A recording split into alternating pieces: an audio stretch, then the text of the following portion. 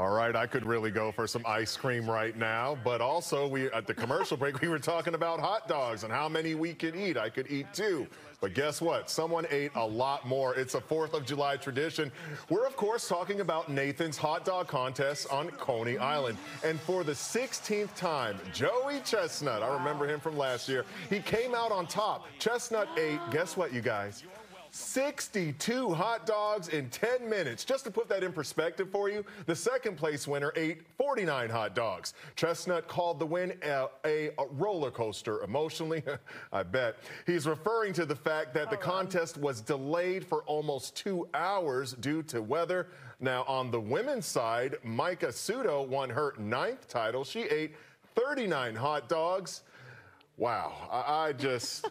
God. When you wa- oh look at her, she's chowing down. Oh, she's like she's beatboxing with it.